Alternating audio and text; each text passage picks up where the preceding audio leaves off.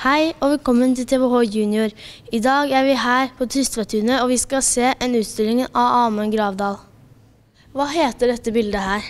Dette bildet her heter 'These are a few of my favorite things'.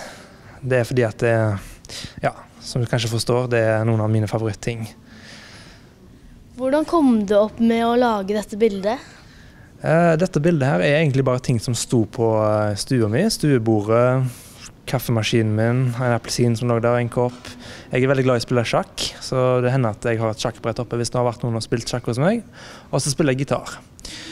Så det, derfor ligger alt det der. Hvor lang tid tar det å lage dette bildet? Dette bildet her, det var veldig vanskelig å lage, fordi at eh, perspektivet på sjakkbrettet er ja, ganske komplisert, for å si det sånn, så det knota jeg med i mange dager. Eh, og når jeg var ferdig med det, så må jeg kanskje endre litt på lyssetting og sånne ting. Ehm, så ja, brukt lang tid på dette bildet òg. Hva betyr disse røde prikkene? Ja, disse røde prikkene her, det betyr at det er noen som har kjøpt eh, maleriet og har lyst til å henge det opp på veggen sin.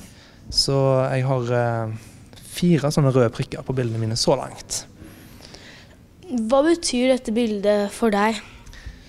Jo, øh, litt øh, sånn spesielt bilde, siden det er det eneste som har så mye blått i seg i forhold til de andre. Så det, det, betyr, det betyr en del sånn sett. Pluss at jeg uh, har sterke minner fra når jeg malte det, siden det var snø og veldig kaldt. Det var en kald opplevelse, nesten litt sånn på grensa til smertefullt, men jeg måtte bare holde ut for å fange dette helt spesielle lyset som kommer når det er snø. da. Veldig mye blåfarger og sånt. Ja, dette bildet ser jo veldig kjent ut. Ja, dette bildet er jo eh, samme motivet som vi hadde på det snøbildet i stad.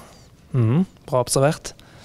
Um, og så, hvorfor er liksom um, platen rund? Eh, Denne gangen hadde jeg lyst til å prøve på et nytt uh, format. Um, et, en, et sirkelformat for å gjøre motivet kanskje litt uh, annerledes. Uh, og for å ja, prøve noe nytt, da. Hva heter utstillingen?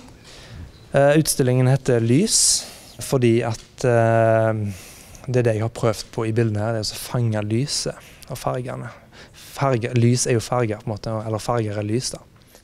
Hva heter dette bildet her? Dette bildet heter Frostrøyk, og det er fordi at det var veldig kaldt når jeg satt ute og malte det. Så jeg eh, måtte ha isfiskestøvler og sånn tjukke russiske bjørnehuer og termodress. Um, hvor er det egentlig fra?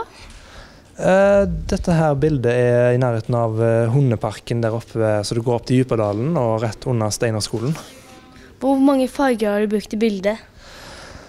Uh, ja, det er litt vanskelig å svare på. Eh, som du ser i bildet, så er her sikkert tusenvis av forskjellige nyanser av grønt og sånt, men eh, jeg har et knippe med tuber, som jeg, kanskje en 20 stykker, som jeg har med meg uh, når jeg er ute og maler. Og så blander du dem. Så blander jeg, jeg blander alle sjøl, ja. Mm. Det er nesten ingen av fargene her som er rene fra tuben.